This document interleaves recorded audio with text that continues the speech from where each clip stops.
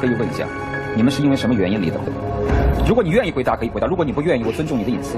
主持人，对于以前的事呢，我不想再再再提，因为我只想在以后，不想活在以前。那这个话我再把它简单一点，谁是过错方？有过错方吗？肯定会有，每个夫妻离婚的话都会有过错。是你吗？不是我。是我，都是我。为什么带着孩子去北京？他知道了又能怎么样呢？不管怎么样，他都有这样的知情权，这是法律赋予他的权利。还是不要知道了。你这就有点轴了，你瞒得住吗？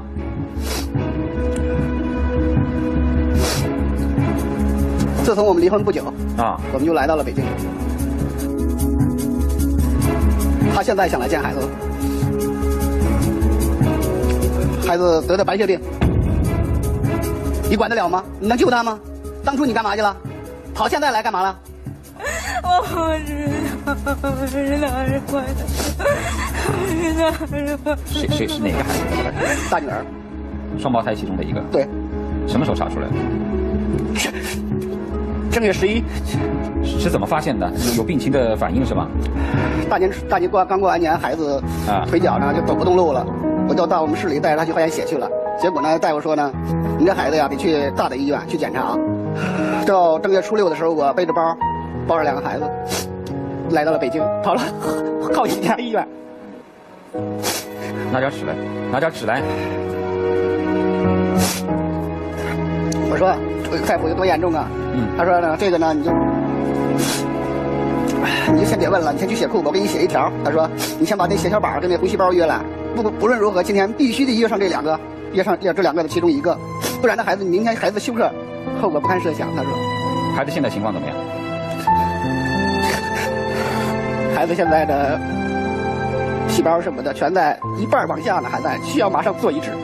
那你为什么这么危急的病情不让他母亲知道？因为我当时根本顾不上联系他。再说他就有男朋友，我也没有他的联系方式。孩子没有想妈妈吗？想过。那你怎么跟他解释呢？我就说你妈妈出去打工去了，等你病好了，妈妈就回来了。孩子现在知道了，不知道，不知道。对，那你今天来干什么？今天就想跟他说清楚，以后不要再打扰我们的生活。孩子虽然说生病了，我就是再苦再累，我也要把孩子照顾好。我怕到时候会见了孩子，对孩子对你都是一种伤害。我知道我是对不起他们。我希望呃让这个母亲尽到她自己的这个责任和义务，去帮帮你们，给你们做点最实际的一些家务啊，或者说看看孩子啊，减轻一点你的这方面的负担。大家万众一心来度过这个难关吧。先生，我特别建议您站在孩子的角度去考虑，尤其在这种生死攸关的大病的时候，他多么需要母亲的爱。我觉得我们是时候放下仇恨了，过去的暂时先放一放，然后我们先全心全意的陪伴孩子，照顾孩子。我觉得这才是做父母应该做的。而且兄弟。你现在自己心里最清楚，你现在需要一个帮手，需要一个能全心全意帮你来救这几个孩子、照顾三个孩子的人。这个人最佳的人选就是他们的母亲，对吗，兄弟？因为我怕他见到孩子之后吧，对孩子的病情不稳定呢造成伤害。毕竟我们现在分开这么长时间了，我觉得你很善良。包括现在这个位置，你又不想把已经貌似已经脱离开这个苦难圈的人再拉进来。那是不是潜意识说你对他还有感情啊？没有，当下最重的是孩子的病情，一切以病情好转为最大的目的，让他们开开心心的度过这段时间。你们就是装，你给我装出一对好夫妻的样子，这才是应该要做的。那我有个条件，你有什么条件？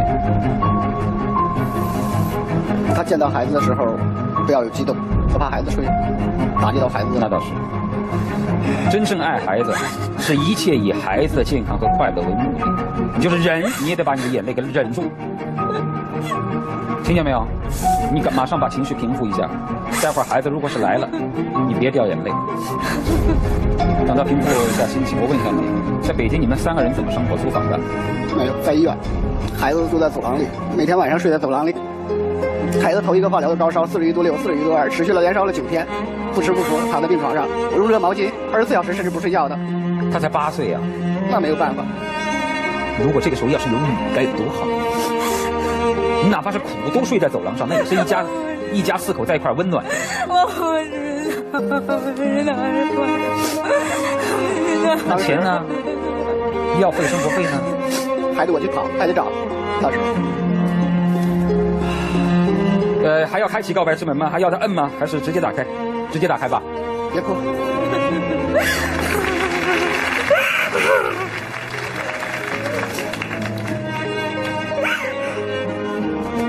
先别带他到门这儿，让他们哭会儿。你你不要再哭了啊！不要再哭了，行不行？一会儿孩子看到你，为了孩子坚强一点。那你怎么办？他现在很脆弱，知道吗？